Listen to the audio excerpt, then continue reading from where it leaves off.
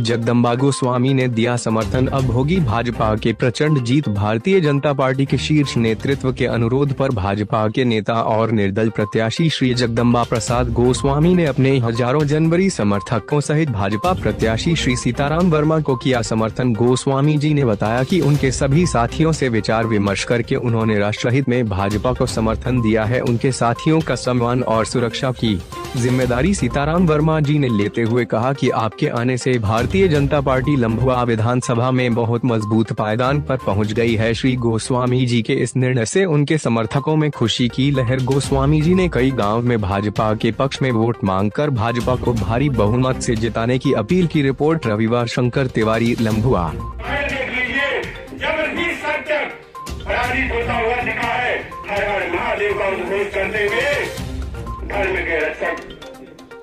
पहुँचे हैं और अधर्म का सत्यानाश करके धर्म की स्थापना की है तो मुझे पूरा विश्वास है, महादेव की कृपा से धर्म की स्थापना होने जा रही है। पिछले पाँच सालों से धर्म की स्थापना है फाउंडेशन तैयार है। अब आपको मकान बनाने की ज़रूरत है, हिंदुत्व को जगाने की ज़रूरत है। जय हिंद, जय भारत, जय भाजपा, जय जनता जनार्दन